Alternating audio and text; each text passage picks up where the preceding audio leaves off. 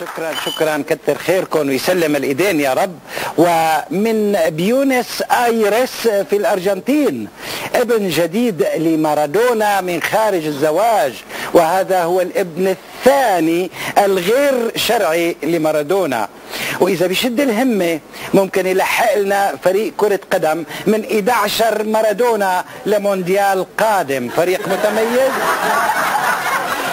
وحيكون بإذن الله فريق متميز لكنه غير شرعي. السيدة سيدة عضت كلبا كبيرا لأنه عض كلبها الصغير. السيدة إنسانة والكلب الكبير الذي عضته هذه الإنسانة أصيب بداء الأنسنة وبدأ يعوي وبدأ يعوي بالسياسة. آلاف التقارير يكتبها المخبرون في الوطن العربي. وطبعا ثلاث ارباعها كذب. ومع ذلك ما حدا بيهتم فيها. واحد فقط أمريكي اسمه ميتشل. اجى لعنا وكتب تقرير واحد. ولأنه مصابين بعقدة الخواجة. كل الحكام العرب طالبوا باحترام تقرير ميتشل. فعلا. لا كرامة لمخبر في وطنه. في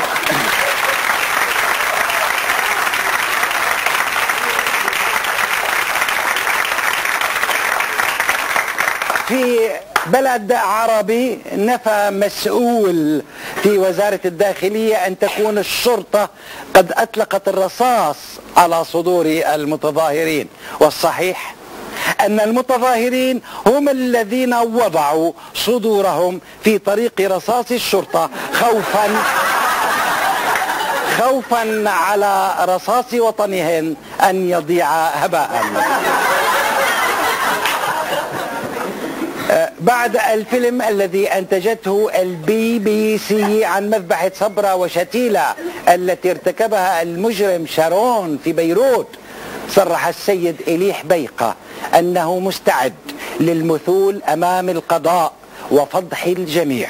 أخشى ما نخشاه أن يكون بين هؤلاء الجميع شارون أو شارونات أو شراوين عربية.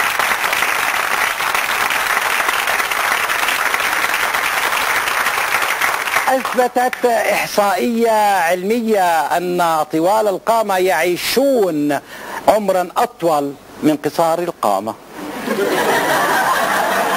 مواطنون عرب ركضوا إلى شبكات الإنترنت ليعرفوا أطوال قامة زعمائهم بدون كعب.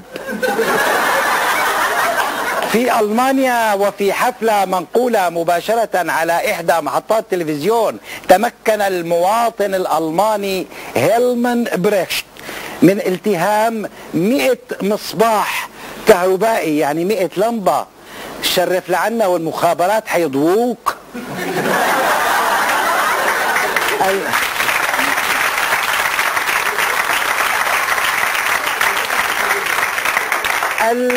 الأرجنتين تضع رئيسها السابق كارلوس منعم في السجن وتجمد أملاكه بعد اتهامه بتشكيل عصابة من المنتفعين أثناء حكمه يظهر في نية لتبديل المواقع بين زعماء العالم وعلي بابا. علي بابا لا تخاف من الزعامة لأنه الأربعين حرامي جاهزين.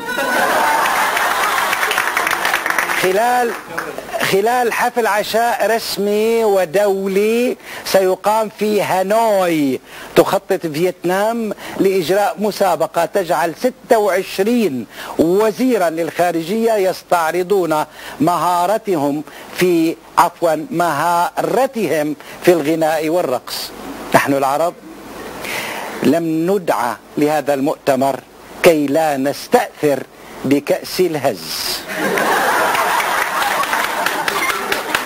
أصدر وزير الأوقاف المصري قرارا بتحديد زمن خطبة صلاة الجمعة بعشرين دقيقة كحد أعلى للتيسير على الناس موضحا أن البلاغة في الإيجاز. أتمنى لو يسري هذا القرار على الخطابات الرسمية أيضا. يسروا علينا يسر الله عليكم. قولوا آمين, آمين. وعلى أبنائكم وبناتكم. وعلى أحفادكم وقرة أعينكم.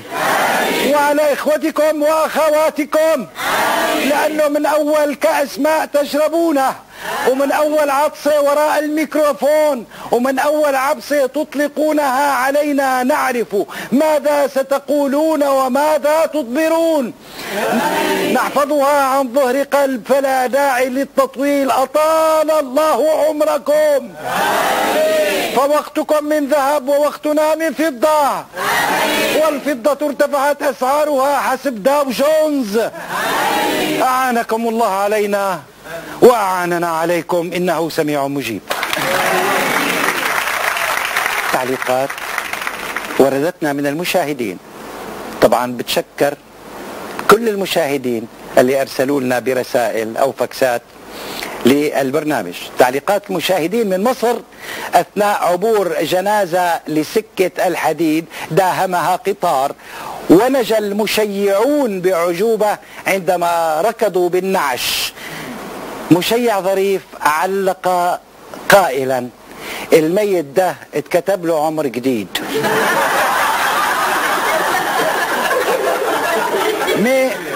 من اليمن من اليمن قرأ مواطن يمني خبرا من كوبا.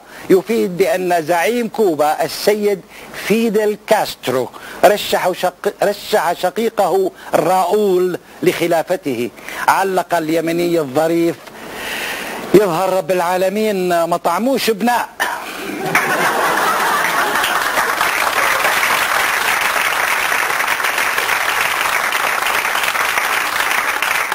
التعليق على الأخبار على مسؤوليتي انتهى.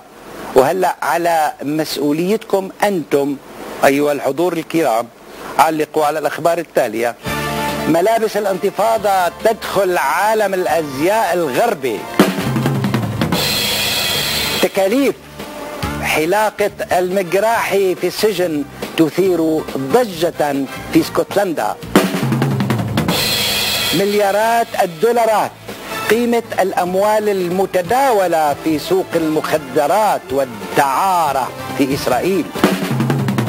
الساعد القذافي الكلام عن خلافتي لوالدي سابق لأوانه شكرا لتعليقاتكم الحلوة والذكية وتسفيقة تحية لكم.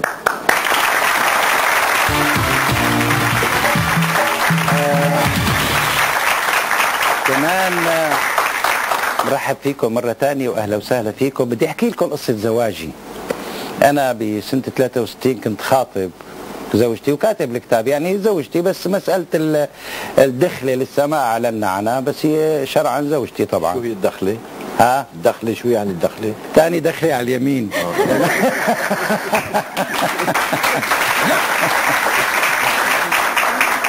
بقى آه، بسنة 63 ليلة راس السنة كنا سهرانين أنا وياها. يبدو أخذنا الشوق. وقلت لها شو رأيك هلا تتزوجي؟ الليلة قال إيه.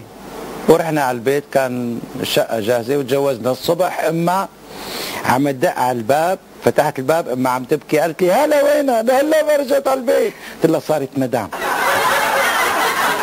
لهلا ولكذا سنة مرتي آه، حرقة بقلبها إنه ما لبست فستان العرس. كنا دائما تقول لي حرقة بقلبي فستان العرس حرقة بقلبي فستان العرس. ففي مرة جينا هيك نعمل زيارة لأختي هون سبقتني زوجتي قبل أسبوع أنا كان عندي تصوير. بعد أسبوع جيت تحت بيت أختي في استوديو آه، فوتوغراف. مارق أنا بدي فوت لبيت أختي ولا شفت بالاستوديو صورة مرتي توب العرس. أنا رح جن قلت يا أما متجوزة علي سابقا وأعطوني إياها second hand يا أما متجوزة بهالاسبوع اللي غبته أنا طلعت على البيت. مع شو هذا؟ صورة مين؟ هذا صورتي. خي فشيت خلقي استعرت فستان أختك وتصورت فيه.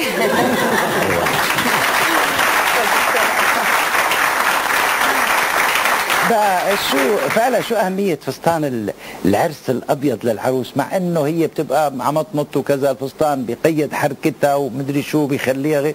شو أهمية هذه المسألة؟ يمكن الستات آه، بحسوا بهالمسألة أكثر مننا يمكن يمكن هي شغلة كثير مهمة إنه دائما أول ما بتخلق الطفل هي صغيرة بيقولوا لها رح نشوفك عروس. يعني كلمة العروس من الطفولة للكبر على طول نشوفك عروس عروس. فأكيد عروس بلا فستان عرس وطرحة بيضة مش عروس يعني. هلا آه، كل فتاة عندها حلمها الفستان الأبيض والعرس. بس يمكن أنا بالنسبة لإلي آه، إذا بتخيرني بقول لك لا يمكن بلبس بلوز وجينز وبتجوز هلا.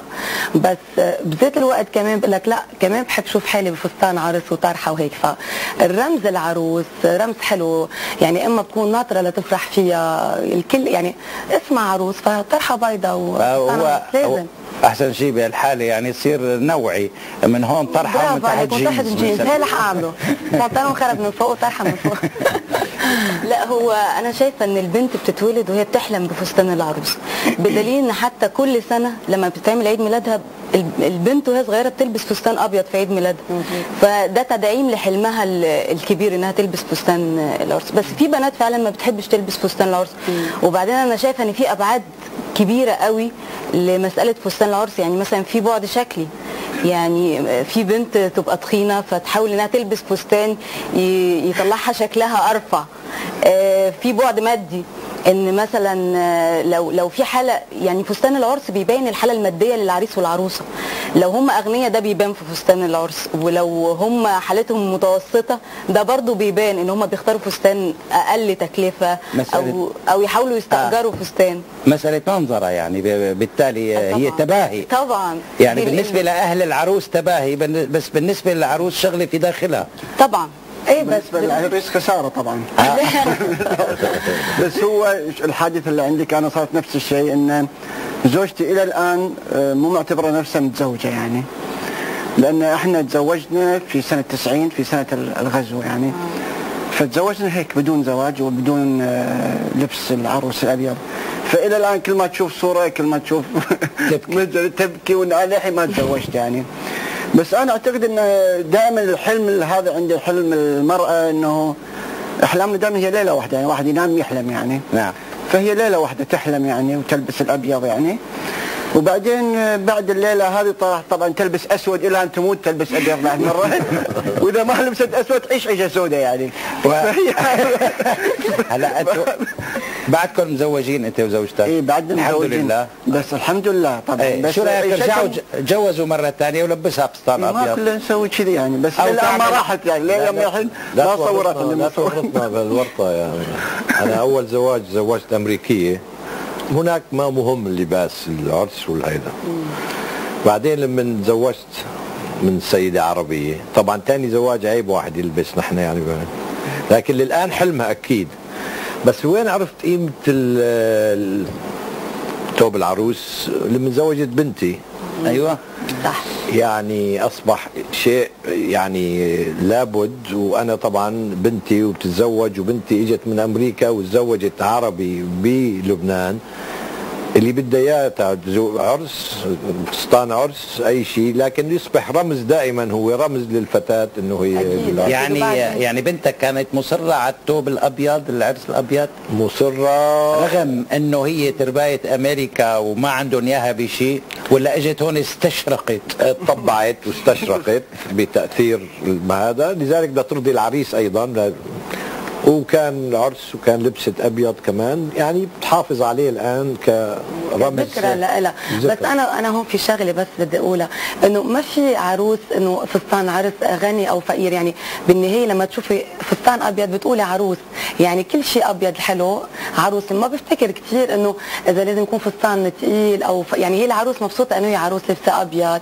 وبس هيدي فرحة ال بس إيه بس في ناس يعني بتلاقي بيبالغوا بمسألة إيه فستان العرس والتكاليف. وبيقولوا هي أنا خيط لي فيها اياه فلان الفلاني المشهور يعني أنا لفت نظري لفت نظري مثلا فستان الأميرة ديانا. الله يرحمها كان فستان فظيع. يعني. ده مصروف عليه فلوس أكيد مش قليلة. أكيد إنه ملكي بس ما عادش تلبسه ولا؟ الله يرحمها لا وبس هو كمان يعني إنه قديش بيتكلفوا عليه؟ مشان تلبسه ثلاث أربع ساعات وتخبيه طول العمر. ما هي أحلى لحظة لحظة هذه اللحظة الوحيدة يعني عروس وفرحة واهله ومثل ما قال. أي. ليك شو حس بالسعاده لما شاف بنته؟ فمثلا أنا يمكن قد إيه أمي بتسعد كمان لما تشوفني بالعروس. كل إنسان بينبسط يشوف ابنه أو بنته بهالفرحة يعني. انت البنت من صغرها بتحلم؟ تكون عروس بيعطوها عروسة صغيرة لعبة ولو بتكبر بالعروس؟ طيب الطرحة ليش؟ ح- بهالعصر هي للعريس يتهدى فيها لا أنا بيتهيألي هي معمولة بس عشان العريس يرفعها ويبوس قوره العروسة. آه بس هي كان زمان آه، وما زال. ست روجينا كان زمان الأهل يخطبوا له للإبن وما يشوف العروس فهي مشان ليلة العرس يشوف ال- اليانصيب تبعه. يرفع ويقول يا رب. يا رب. يا يضحك. بس هلا بيبقى شايفك آه، طبعا. و- أحمد.